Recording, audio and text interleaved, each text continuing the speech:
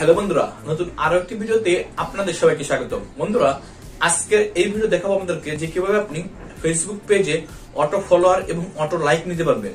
Basically আপনারা যারা আমার চ্যানেলে সাবস্ক্রাইবার আছেন, তাদের কিন্তু অনেকেরই মনে প্রশ্ন আসে যে কীভাবে আমি অটো ফলোয়ার নেব? অনেকে কিন্তু আমার কমেন্ট করেন মেসেঞ্জারের মাধ্যমে কিংবা কমেন্টে আপনারা জানান যে, ভাই, আমি কীভাবে ফেসবুকের অটো ফলোয়ার নিবো? কীভাবে ফেসবুকের লাইকগুলা বাড়াবো?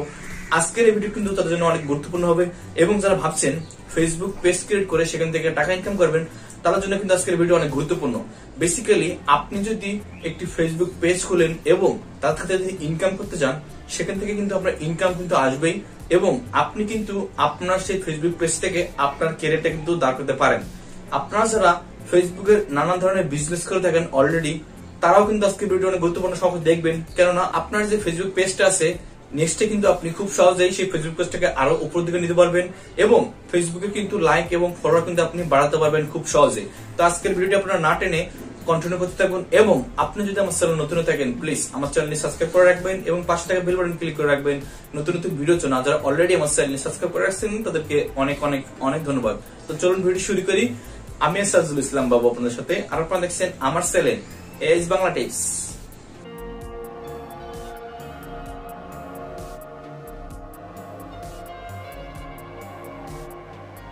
বন্ধুরা, যারা এখনও ফেসবুক পেজ খুলেননি, কিন্তু যারা ফেসবুক পেজ খুলতে চাচ্ছেন, অবশ্যই আমার চ্যানেলে একটি ভিডিও আছে, আপনারা দেখে আসতে পারেন ভিডিও ডিসক্রিপশনে লিঙ্ক দেওয়া থাকবে, এবং উপরের আই বাটনে ক্লিক করে আপনারা দেখে আসতে পারেন। তো প্রথমত আপনাকে বলি, আপনি কি ক্যাটাগরি এবং কি মাধ্যমে আপনি ফেসবুক পেজটা ক্রিয়েট করতে চাচ্ছেন? যেমন অনেকেই কিন্তু বিভিন্ন ধরনের বিজনেস করে থাকেন, যেমন আপনি কিন্তু চাইলে কিন্তু আপনি কাপড়ের বিজনেসগুলো করতে পারেন টি শার্ট গেঞ্জি যে কোনো জিনিস কিন্তু আপনার, যেমন থ্রি পিস লেহেঙ্গা, বিভিন্ন ধরনের জিনিস কিন্তু আপনি সেখানে আপলোড করে আপনি কিন্তু খুব সহজেই সেখান থেকে কিন্তু ইনকাম করতে পারবেন। এবং আপনি যদি চান, আপনি কিন্তু ভিডিও মেক করে যেমন ফানি ভিডিও গুলো মেক করে, কেমন আমার, আমার- মতো টেক ভিডিও গুলো মেক করে কিন্তু আপনি খুব সহজেই ফেসবুক পেজ থেকে কিন্তু টাকা ইনকাম করতে পারেন। তো প্রফেশনালি আপনি যদি ফেসবুক পেজ ক্রিয়েট করতে চান, যে আপনি কি ক্যাটাগরির ফেসবুক পেজ ক্রিয়েট করতে চান, তো আপনি যদি ধরুন আপনি আপনার একটি বিজনেস করতে চান, কাপড়ের বিজনেস প্রথমত যেটা করতে হবে সেটা হচ্ছে আপনার ফেসবুকের পেজের যে নামটা আছে, সেটা ইউনিক একটি নাম দিতে হবে এবং খুব সহজে একটি নাম দিতে হবে। বেসিক্যালি আমরা যখন একটি ফেসবুকে একটি নাম সার্চ দিই, তখন কিন্তু হাজার হাজার নাম কিন্তু সেখানে চলে আসে, বিভিন্ন ধরনের পেজ কিন্তু তারা সেখানে কিন্তু চলে আসে। সেই জন্য কিন্তু আপনাকে ইউনিক একটি নাম দিতে হবে এবং খুব ছোট এবং খুব সুন্দরভাবে একটি নামটা গুছিয়ে আপনার সেই নামটা কিন্তু, সেই নামে কিন্তু আপনার ফেসবুক পেজটা ক্রিয়েট করতে হবে। এবং দ্বিতীয় স্টেপের জন্য আপনার ফেসবুকের পেজের সেখানে কিন্তু নির্দিষ্ট ঠিকানা দিতে হবে। আপনার ফোন নম্বর দিবেন। যেমন আপনি হোয়াটসঅ্যাপ নাম্বার দিতে পারেন, আপনি মেসেঞ্জার অ্যাড করতে পারেন এবং আপনার যে লোকেশনটা আছে, আপনি সেটা অ্যাড করতে পারেন।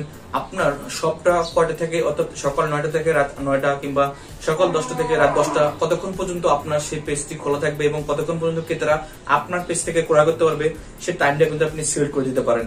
এবং আপনি যদি চান আপনার পেজটাকে আরও সৌন্দর্য করে তুলতে যাওয়ার জন্য, আপনি কিন্তু আপনার যে মেন প্রোডাক্টটা আছে, সেটা কিন্তু আপনি আপনার ফেসবুক পেজ আছে, সেখানে কিন্তু আপনি পিন কমেন্ট পিন করে আপনি সেখানে কিন্তু রাখতে পারেন। সেখানে কিন্তু আপনার গ্রাহকরা এসে আপনার যে সুন্দর যে প্রোডাক্টটা আছে, সেটা কিন্তু প্রথমে আপনার পেজে ঢুকলে কিন্তু গ্রাহকের চোখে পড়বে এবং সেখান থেকে কিন্তু আস্তে আস্তে আপনার যে বাকি পণ্যগুলো আছে, সেগুলোতে কিন্তু গ্রাহক ঘুরতে যাবে এবং সেগুলোর উপর কিন্তু তাদের নজর পড়বে। এবং তৃতীয় যে স্টেপটা আছে, সেটা হচ্ছে আপনার সব অপশন আছে। দেখবেন আপনি ফেসবুক পেজে গেলে সেখানে সব একটি অপশন আছে। সেখানে কিন্তু আপনাকে সবটাকে সাজাতে হবে। অর্থাৎ আপনি কিন্তু একটি, দুটি পণ্য নিয়ে কিন্তু আপনি বিজনেস শুরু করতে পারবেন না। আপনি যদি দশ থেকে পনেরোটা কিংবা বিশটা পণ্য নিয়ে আপনি যদি শুরু করেন, তাহলে কিন্তু যেমন দেখুন, আপনি যখন বাজারে যাচ্ছেন, তখন কিন্তু বিভিন্ন ধরনের তরকারি আপনি কিনতেছেন, লাউ ফটো আলু কিন্তু বিভিন্ন জায়গায় যেমন বিভিন্ন তরকারি কিন্তু সেখানে সাধারণ থাকে। আপনার পছন্দ মতো কিন্তু আপনি যেখান থেকে টার্গেট করে গেছেন যে আপনি এই জিনিসটা কিনবেন, সেটা কিন্তু আপনি এখান থেকে কিনছেন। সেই দোকানে যদি আপনার সেই পণ্যটা না থাকে, অর্থাৎ আপনি যদি আলু কিনতে চান এক দোকান থেকে, সেখানে যদি আলুটা না থাকে, আপনি কিন্তু সেখান থেকে আরও একটি দোকান যাবেন।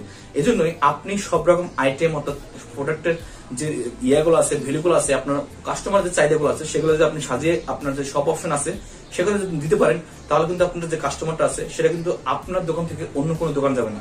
ফেসবুক পেজটা কিন্তু একটা খুব একটা দোকানের মতোই। আপনারা অনেকে জানেন যে দোকানে কিন্তু নানান ধরনের পণ্য থাকে থাকে।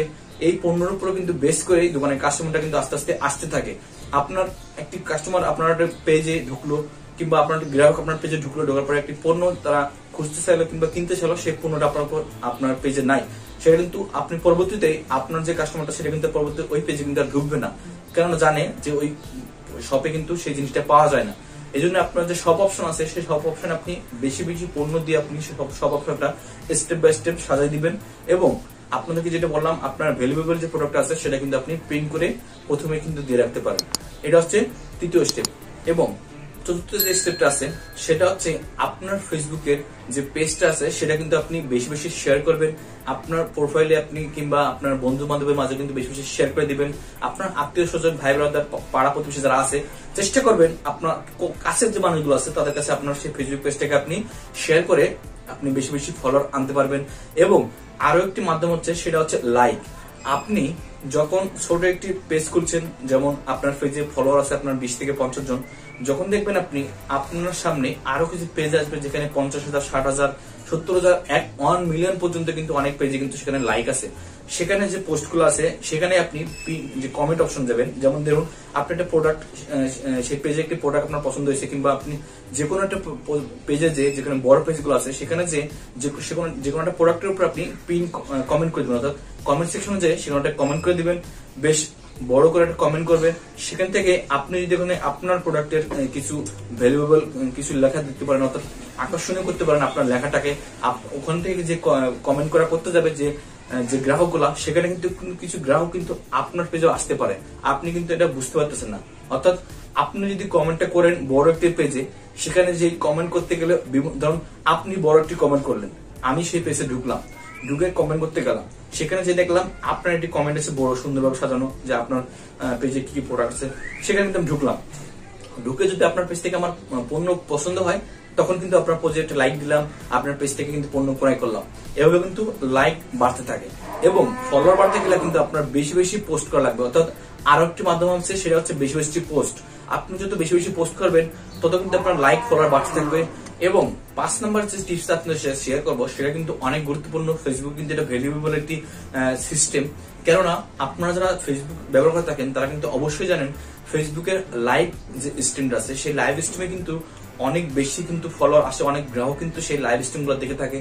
আপনি যদি একটি প্রোডাক্টের রিভিউ করতে পারেন, ধরুন একটি টি শার্ট আপনি একটি টি শার্ট আপনি পরে, আপনি সেই প্রোডাক্টের উপর আপনি কিছু বেস সেই প্রোডাক্টের উপর বেস করে আপনি কিছু ধারণা দিলেন, আপনার কাস্টমারগুলা, আপনার যে মেন যে প্রোডাক্টটা আছে, সেটার উপর যদি আপনি বেস করে কিছু লাইভ করেন, প্রত্যেক দিন কিংবা আপনি এক, দুই দিন পর পর একদিন পর পর যদি আপনি লাইভটা করতে পারেন, তাহলে কিন্তু এই লাইভটা কিন্তু ফেসবুক বেশি বেশি মানুষের কাছে কিন্তু রিচ করে। অর্থাৎ লাইভটা কিন্তু ফেসবুক কিন্তু বেশি ভ্যালুয়েবল মনে করে।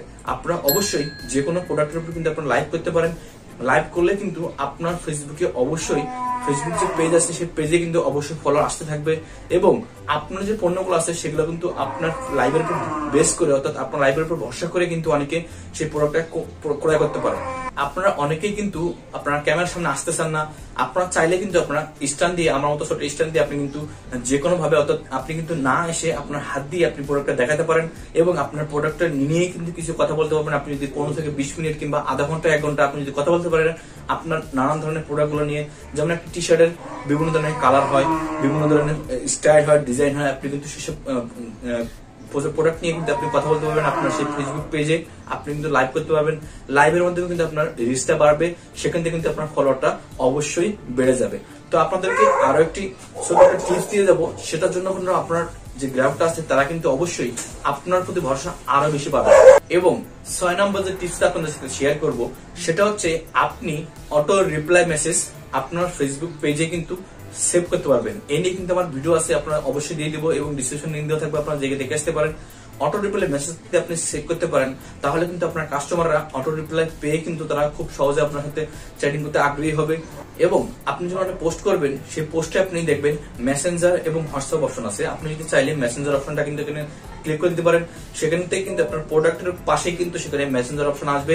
আসার পরে কিন্তু গ্রাহক কিন্তু এক ক্লিক করে আপনার সাথে কিন্তু মেসেজের মাধ্যমে কিন্তু আপনার সাথে সেটিং করতে পারবে। এবং আপনি কিন্তু নিজেই এই কাস্টমার সাথে হ্যান্ডেল করবেন প্রথম প্রথম। কেননা কাস্টমারটা কিন্তু আপনি যদি নিজে হ্যান্ডেল করে থাকেন, তাহলে কিন্তু আপনার নিজের মতো করে আপনি কিন্তু কাস্টমার সাথে হ্যান্ডেল করতে পারবেন। আপনি যদি যে করে যে আপনি যদি হ্যান্ডেল করতে চান কাস্টমার তাহলে কিন্তু সে তার ইচ্ছা মতো করবে, সে কিন্তু তার নিজের মতো করে কিন্তু তার, আপনার পেজটা কিন্তু আর সেখান থেকে গ্রো করবে না, অর্থাৎ পেজটা কিন্তু সেখান থেকে আর বাড়বে না। আপনি প্রথমত চেষ্টা করবেন আপনার নিজের ব্যক্তিগত মাধ্যম দিয়ে আপনি কিন্তু আপনার কাস্টমারদেরকে আপনার পেজে আনতে। এই জন্যই আপনারা আপনাদের মতোই করে আপনার পেজটা সাজিয়ে নিন, আপনাদের মতোই করে আপনার বিজনেসটা গুছিয়ে নিন। অবশ্যই আপনার ফেসবুকে ফলোয়ার লাইক এবং আপনার বিজনেসটা কিন্তু খুব ভালো হবে। আপনার অবশ্যই ভিডিওটি বন্ধুদের মাঝে শেয়ার করে দিন এবং তাদেরকে অনলাইন বিজনেসের উপর একটি বিশ্বাসতা এবং বিজনেসের উপর তাদের একটি ভরসা এবং ভবিষ্যৎ কেরিয়ার তারা গড়তে পারে, সেটা নিয়ে আপনারা অবশ্যই ভিডিওটি শেয়ার করে দিতে পারেন তাদের কাছে। তো ভিডিওটি এতক্ষণ দেখার জন্য আপনাকে অনেক অনেক অনেক ধন্যবাদ। তো ভিডিওটি ভালো লাগলে লাইক করবেন কমেন্ট এবং শেয়ার করতে ভুলবেন না। তো ধন্যবাদ সবাইকে। ভালো থাকবেন, সুস্থ থাকবেন। আল্লাহ হাফেজ। আসসালাম আলাইকুম।